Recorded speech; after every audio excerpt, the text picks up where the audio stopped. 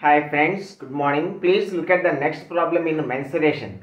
See friends, the height of a solid cylinder is 30 centimeters and diameter uh, 10 centimeters. Now, two identical conical cavities of height 12 centimeters and radius 5 centimeters were drilled out.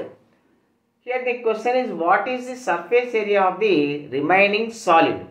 See friends, uh, the height of this cone, the height of this conical cavity is 12 centimeters and radius uh, 5 centimeters.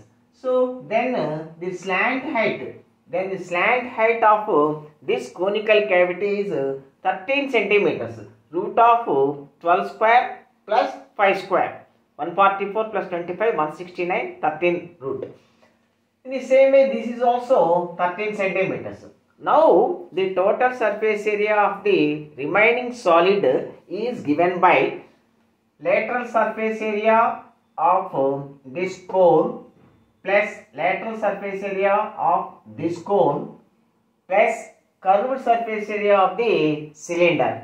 So, first one uh, lateral surface area of this cone. Lateral surface area of cone is given by pi r L. Pi r L. Pi r L that is equal to pi radius 5 radius 5 L 13 L 13 that is equal to 65 pi. In the same way same way lateral surface area of this conical cavity is given by given by pi r L pi r L pi r same 5 L same 5 that is equal to 65 pi.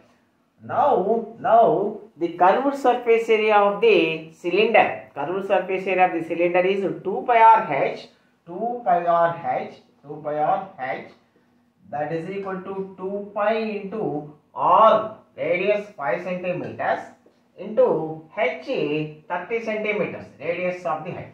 This is equal to 300 pi, 300 pi.